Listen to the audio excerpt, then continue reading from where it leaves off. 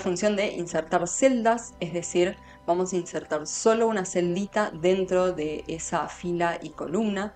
Por ende va a deslizar todo lo demás hacia abajo o hacia la derecha. Tener cuidado con esto de no desfasar información. Si en este momento nosotros le ponemos insertar hacia abajo, nos desfasa todo lo otro que sí teníamos alineado. Muchas veces es recomendable insertar una fila entera más que una celda, exceptuando casos específicos que necesites. Lo mismo va a pasar con filas. Poder insertar una fila entera, en este caso nos creó los desplegables, la validación de datos ya puesta y podemos agregar nuevos datos. A tener en cuenta cuando nos puede pasar que en alguna columna tengamos fórmulas, al insertar una nueva fila esas fórmulas no se van a expandir, tenemos que o volver a copiarlas o tenemos que hacerlas de vuelta adaptadas a esa celda, pero tener en cuenta que cuando insertamos fila o columnas, las fórmulas que tengan relacionadas probablemente no las arrastre. Después tenemos la opción de insertar una columna, ya sea a la derecha o a la izquierda de donde estemos parados. Esto es importante que siempre es con respecto a donde estemos parados en ese momento. Acá tenemos insertar una hoja, es decir, con el más de abajo a la izquierda o con mayúscula F11. Tenemos esta opción de añadir una nueva solapita o pestaña dentro de la planilla se nos van a ir enumerando a medida de que vayamos creando, más allá de que nosotros le podemos cambiar los nombres idealmente. Después ya lo vamos a ver en, los botones cuando tengamos datos. Nosotros podemos seleccionar, ejemplo, de vuelta desde la B hasta la G y nos vamos a insertar gráfico. Importante que tengamos en cuenta que este gráfico se va a hacer en base a los datos que tengamos seleccionados. A la derecha nos aparece un editor de este gráfico que nos da la opción de qué tipo de gráfico queremos, cómo queremos que se vea o si queremos que se vea con barras, con líneas. Después tenemos la opción de insertar tabla dinámica. Para insertar una tabla dinámica en este caso tendríamos que seleccionar los títulos y todos los datos y los datos vacíos, es decir, todo lo que venga siguiente de esta planilla. Podemos seleccionar desde la B hasta la G. A la derecha nos aparece el editor de tabla dinámica donde nos dice que está tomando datos de B2 a G3 y ahí le podemos cambiar hasta G99. ¿Qué es lo que hace una tabla dinámica?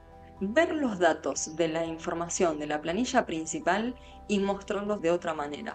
Algo parecido al transponer, pero mucho mejor, porque se le puede poner filtros.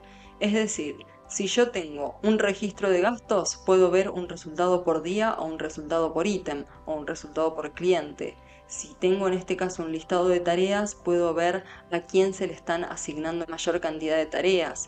Lo que nos va a servir la tabla dinámica es para contar o resumir la información que nosotros tengamos o darle un orden diferente, ordenado de mayor a menor o de menor a mayor, de otra manera que se usa en el día a día en la planilla. Bien, después tenemos la opción de insertar imagen sobre celda o en la celda. Tenemos la opción de subir cámara web, de un link de Google Fotos, de Google Drive o de Google Imagen. Entonces en Google Imágenes podemos poner, no sé, el logo de Drive o libros y podemos insertar esta imagen, en este caso la estamos insertando sobre la celda, entonces se adapta al tamaño de la celda, tener en cuenta eso.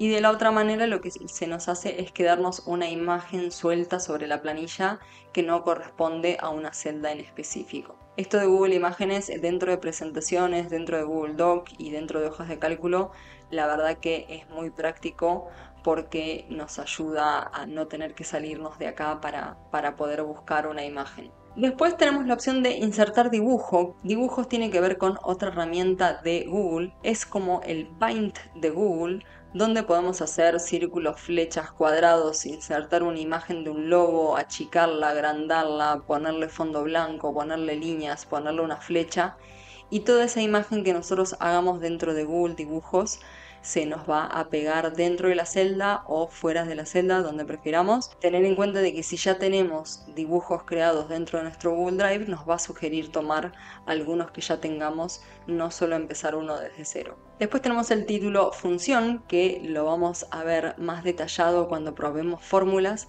pero acá tenemos todas las fórmulas que podemos llegar a tener.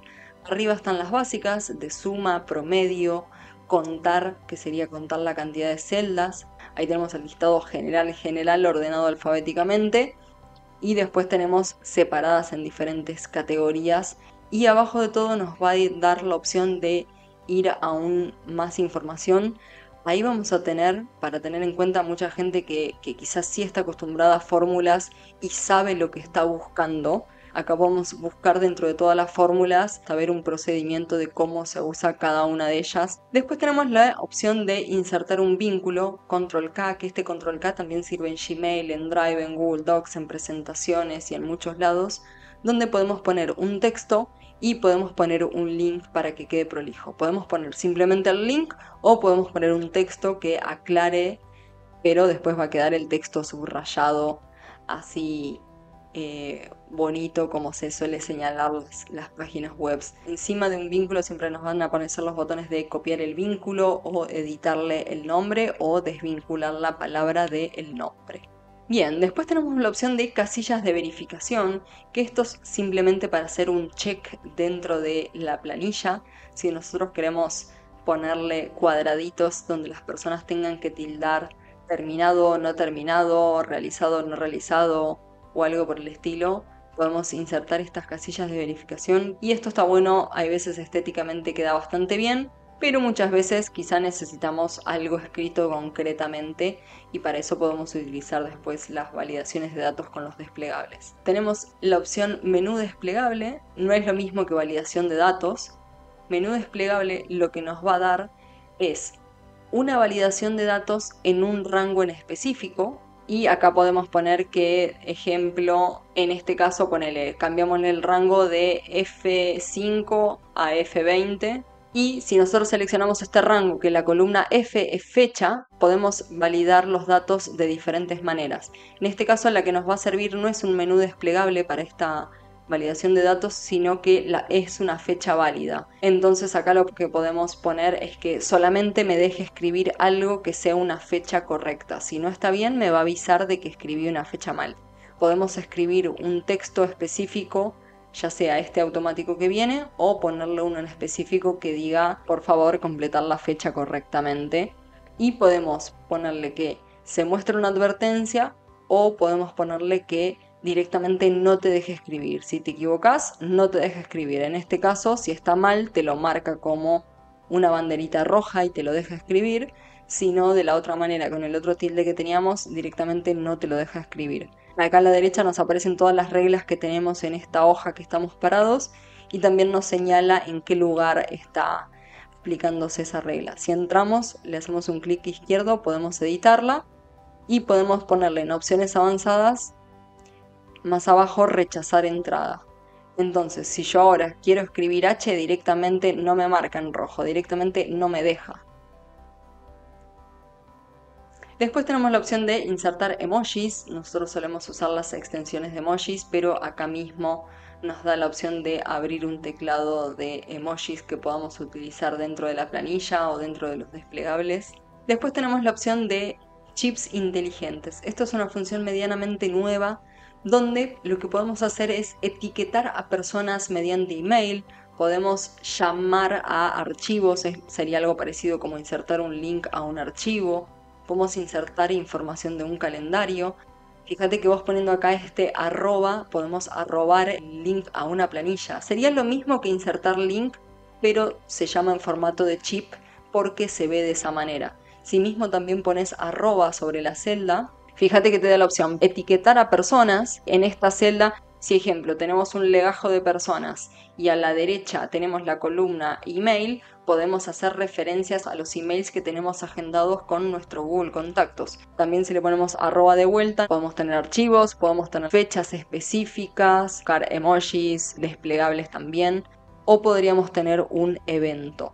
Vayamos a insertar chip evento al título si le haces clic, te va a dar todos los detalles de la reunión. Esto está bueno porque quizá, no sé, lo tenés agendado en tu calendar y la otra persona le estás confirmando de que ese evento está agendado y lo puede ver en la planilla y no hace falta que vea tu calendar. Después tenemos otra opción que es lugar, que tiene que ver con Google Maps. Podemos etiquetar específicamente un lugar y me aparece una dirección Entonces, si nosotros estamos queriendo, ejemplo, hacer una base de datos de clientes, podemos arrancar directamente, si ya sabemos los nombres, buscarlos en Google Maps y ya tenemos la información. Fíjate un segundito más abajo de esta tarjetita que te aparece, que te va a dar la opción de ya directamente ponerle ir con Google Maps y verlo todo este detalle en Google Maps que se nos abre acá a la derecha y le podemos poner el punto de partida y demás. Si queremos, ahí arriba a la derecha donde está el cuadrado con la flecha para arriba, podemos abrir Google Maps en la página web correctamente. Después tenemos la opción de insertar comentarios o insertar notas, que ya dijimos que era comentario, sirve para etiquetar, arrobar el email de una persona, cual redes sociales y pedirle que haga cierta tarea, que te la pueda contestar y que después se pueda resolver y se pueda reabrir la tarea y contestar otra vez y cerrarla otra vez. Después la función de nota específicamente es algo más relacionado con el Word, donde ponemos notas aclaratorias que no se tiene que resolver nada, que simplemente es información extra que no nos entra en otro lado y nos va a quedar con un triangulito negro en el caso de nota y un triangulito naranja en el caso de comentario.